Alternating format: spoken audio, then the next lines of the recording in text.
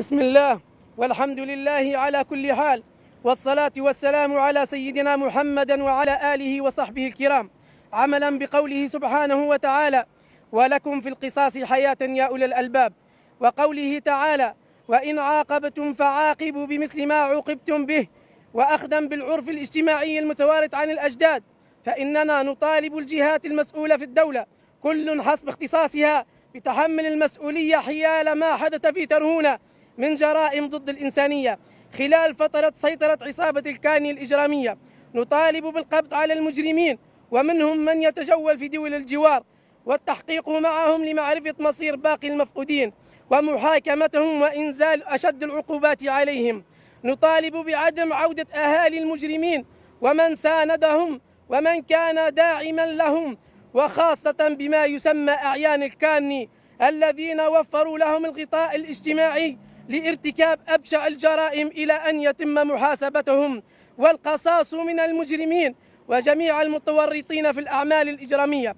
نطالب المجلس الرئاسي والحكومة ووزارة الشباب بعدم تجاوز وتهميش أهالي الضحايا عند الخوض فيما يسمى المصالحة الوطنية حتى لا تكون شعار لدس السم في العسل خدمة لأغراض شخصية.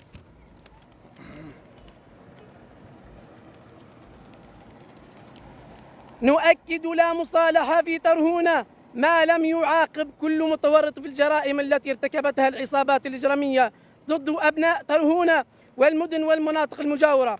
لا مصالحة في ترهونة ما لم يتم معرفة مصير كل المختطفين والمفقودين من أبناء ترهونة والمناطق والمدن المجاورة بسبب الأعمال الإجرامية التي اقترفتها الأيادي الآثمة من خطف وإخفاء قسري.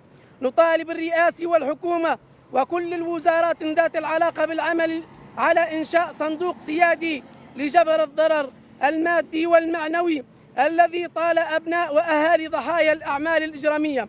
نؤكد نؤكد نؤكد وبكل حزم إننا لا نبغي استيفاء الحق بالذات وإنا على ذلك لقادرون بإذن الله. ولكن ما زال الأمل في مؤسسات الدولة أن تسارع في اتخاذ كافة الإجراءات الكفيلة باستيفاء الحقوق وفق التشريعات النافذة. الله أكبر الله أكبر. ولله الحمد. أهالي ضحايا الأعمال الإجرامية بترهونة دون يوم السبت بتاريخ 1 أكتوبر 2022 السلام عليكم. الله أكبر